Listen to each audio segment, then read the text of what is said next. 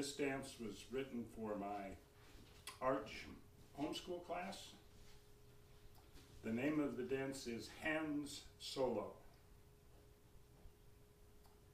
Goes like this. Eight counts down the hall, turn, counts back up the hall, starting to the right, a skipping figure of eight. You put it in hyperdrive.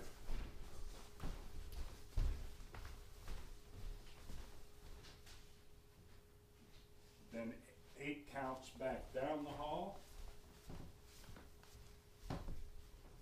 Eight counts back up the hall, and then skipping figure eight to the left.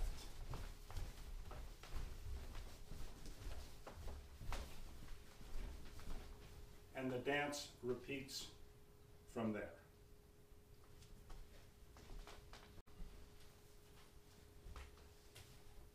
Here it is to music. I'm quite certain you will recognize the tune.